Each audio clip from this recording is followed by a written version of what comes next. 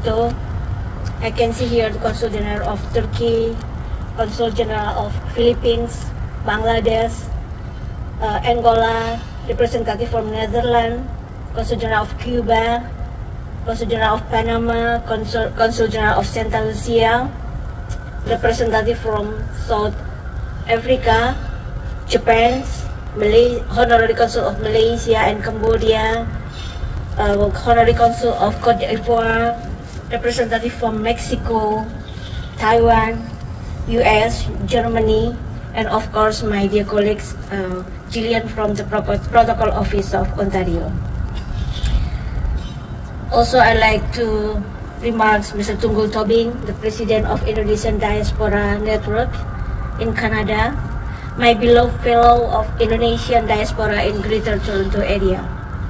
Ladies and gentlemen, on this auspicious event on behalf of the Consulate General of the Republic of Indonesia in Toronto, I would like to extend our appreciation to the Legislative Assembly of Ontario for hosting and facilitating us to have the flag raising ceremony to commemorate the 79th anniversary of the Republic of Indonesia. During the month of August, the Consul, Consulate General of the Republic of Indonesia in collaboration with the Indonesian community in GTA, uh, we are having the series of flag raising ceremony in several cities. Of course, uh, including the flag raising ceremony in the resident or Wisma Indonesia and Legislative Assembly of Ontario. It is hoped that by holding those activities, the brotherhood among the Indonesian communities in Toronto or GTA become closer and stronger. While at the same time, it will remind our fellow Indonesian and diaspora of their beloved country and our cultural roots. Ladies and gentlemen, this year Indonesia is celebrating the 79th anniversary of the Independence Day. It's been a long journey to achieve the independence and advance Indonesia. Reflecting to the past experience, it is not easy to unite Indonesia, which consists of various ethnic groups and spread over more than 17,000 islands. This year anniversary carry the theme Nusantara Baru, Indonesia Maju, or New Nusantara for the Advanced Indonesia. This theme reflects that Indonesia needs a new great spirit to, with unity and equality to achieve its goals. The commemoration of the 79th anniversary of Indonesia Independence Day marks the major stepping stone for Indonesia. There are three important transitions in, in Indonesia this year.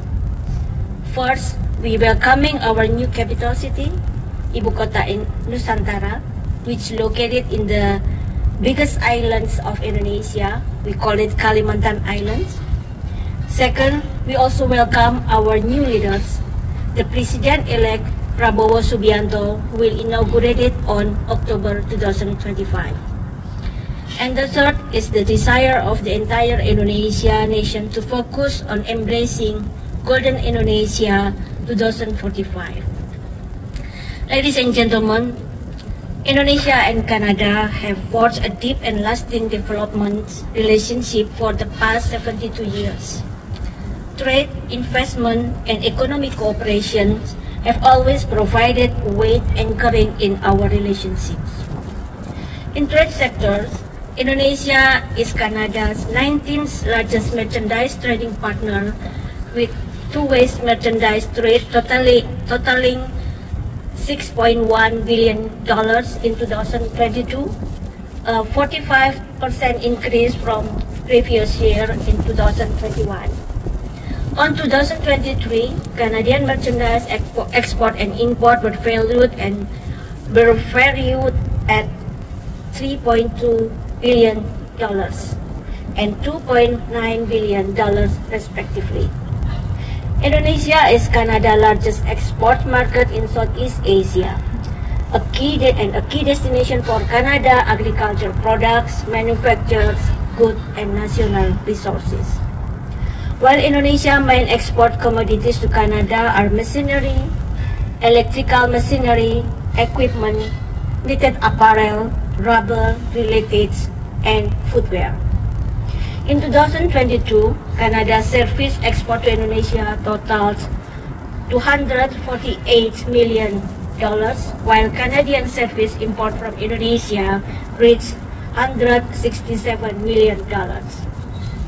Canada also has significant investment interest in Indonesia, with Canadian direct investment valued 2.2 billion dollars at the end of 2021, making it second largest destination to known Canada direct investment in the region.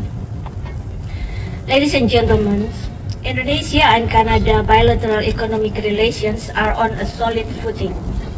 Both countries are currently entering the ninth, the round negotiation of Indonesia-Canada Comprehensive Economic Partnership Agreement, or ICA-CEPA, that will be held in Toronto on, on this September 2024. Indonesia and Canada agreed on a target to complete the Indonesian-Canada Comprehensive Economic Partnership Agreement uh, by the end of 2024. And despite the trend in some countries of moving toward to more closer economy, this negotiation is leading to the way and instead moving toward to be more open and integrated economy. And this by the end of this year, the Team Canada, which is led by Minister Mary Ng, is scheduled to visit Jakarta for the important trade mission. Ladies and gentlemen, in the social cultural sector, there are more Canadians interested to know about Indonesia and planning to visit and also invest in Indonesia. Meanwhile, there are more Indonesian students interested to study in Canada. The number is increasing more than 13% per year.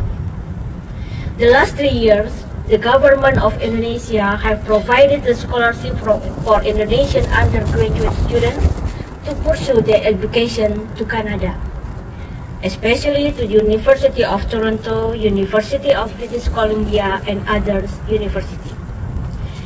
This, this number is adding to the existing and increasing number of Indonesian students in Canada. Indonesian University is also engaged and established cooperation with the prominent university in Canada in terms of research collaborations, exchange student and lecturer, and other academics cooperations. Ladies and gentlemen, having political and economic milestones are not enough. We need also to work and enhance the people-to-people -people contact. The Canada statistic records more than 26,000 Indonesian and diaspora reside across Canada. And this number is keep growing. They came from various regions in Indonesia with various ethnicities and background and religion and they represent the diversity of Indonesia and Canada. They have also become a larger part, a larger a part of larger community in Canada, and contribute to enrich the diversity in Canada. Indonesian community have the important roles to introduce and promote Indonesian culture, as well as enhance the strong bilateral relationship between Indonesia and Canada, especially in people-to-people -people contact. Through various organizations that are formed, such as the Indonesian Diaspora Networks, Chapter Canada, the Indonesian Community of Ontario or ICO, and other associations, the Indonesian community has presented its various cultural festival joining other multicultural activities to promote Indonesia and strengthen the collaboration, the cooperation between our communities. And soon, Indonesia community will also have a special Indonesia language program in Canadian television channels. With the title will be called Salam Indonesia. Ladies and gentlemen, before I conclude the remarks, I'd like to again Thank you to the Speaker of Legislative Assembly, to the Government of Ontario, as well as to the Member of Legislative Assembly for the beautiful congratulatory message. I'd like also to thank you and uh, express my deepest appreciation to our colleagues Consul Generals, and members of Consular Corps of Association of Toronto for joining our event today.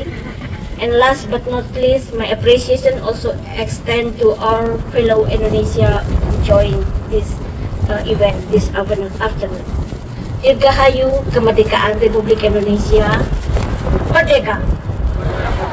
Salam Indonesia, terima kasih dan thank you.